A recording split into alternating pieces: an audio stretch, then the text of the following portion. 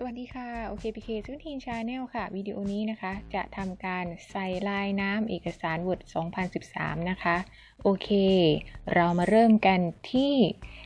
ดูขนาดของโครงสร้างหน้ากระดาษนะคะ ว่าเป็นขนาดเท่าไหร่นะคะ อันนี้ก็อยู่ที่ A4 นะคะ อ่าและเดี๋ยวหลังจากนั้นนะคะ หน้ากระดาษนี้นะคะ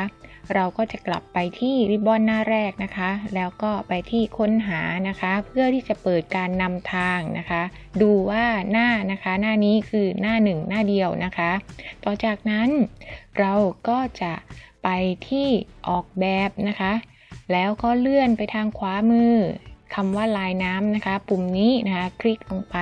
ส่วนนี้นะคะเราจะเลือกลายน้ำแบบกำหนดเอง ซึ่งจะเป็นลายน้ำนะคะที่เป็นรูปภาพนะคะ ตอนนี้จะใส่ที่เป็นรูปภาพก่อนนะคะ ก็ไปเลือกรูปภาพนะคะ แล้วอันนี้คือเราอยู่ในการทำงานแบบไม่ได้ใช้อินเทอร์เน็ตนะคะ ก็กดออฟไลน์นะ แล้วทีนี้นะคะ ก็เลือกรูป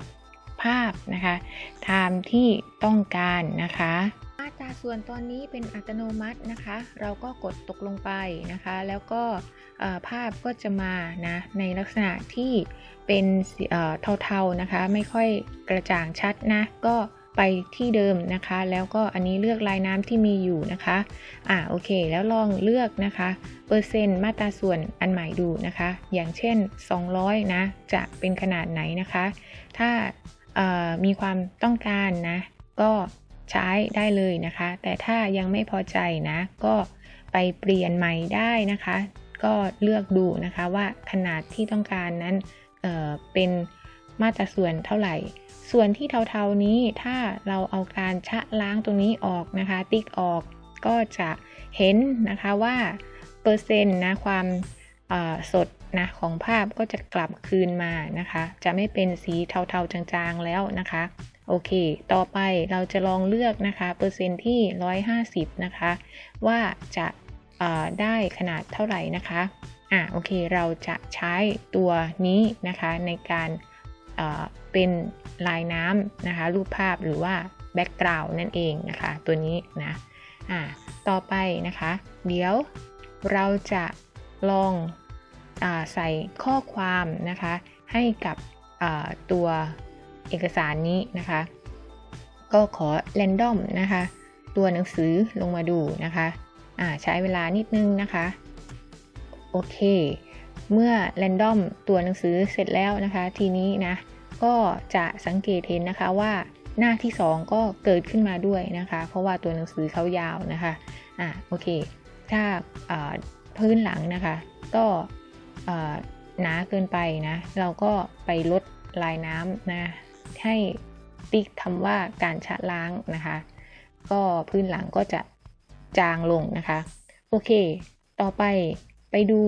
อีกวิธีหนึ่งนะคะ เอาละค่ะ ต่อไปมาดูลายน้ำอีกแบบหนึ่งนะคะ ซึ่งจะเป็นข้อความนะคะ ก็เลือกเอานะคะว่าจะเป็นรูปภาพหรือว่าข้อความนะคะ ถ้าเป็นข้อความนะคะ เราจะใส่นะคะ เดี๋ยวเราจะใส่ภาษาไทยแล้วก็ ใช้คำนะคะก็คือช่องของเรานะก็คือ OKPK 17 นะคะ17นั่นเองนะคะ แล้วก็เปลี่ยนฟอนต์นะคะ ซึ่งเราจะใช้ฟอนต์ซูเปอร์มาร์เก็ตนะคะ แล้วตัวนี้ก็ข้อความนะ เราก็จะใส่ไปแล้วนะคะ แล้วก็ฟอนต์นะ แล้วก็เปลี่ยนนะคะ ขนาดนะคะก็จะเป็นอัตโนมัตินะคะ แล้วก็สีนะ ก็จะเป็นสีเทานะคะ กึ่งโปร่งใสนะ เอาเหมือนเดิมเลยนะ ใช้เหมือนเดิมเส้นทะแยงมุมนะ แล้วหลังจากนั้นก็ตกลงนะ นี่นะคะ ก็จะสังเกตเห็นแล้วนะคะว่าจะมีข้อความบางๆ สีเทานะคะ อยู่ด้านหลังเทคนะคะ ด้านหลังเนื้อหานะคะ ก็จะเป็นชื่อนะคะ OKPK 17นะคะ ตัวนี้นะ เนี่ย เรียบร้อยแล้วนะคะ ก็เป็นวิธีการใส่ลายน้ำนะคะ หรือว่าพื้นหลังนั่นเองนะคะ โอเค ยังไงก็อย่าลืมกดคลิก subscribe กดติดตามช่อง OKPK 17 Channel กันต่อนะคะ ขอบคุณค่ะ สวัสดีค่ะ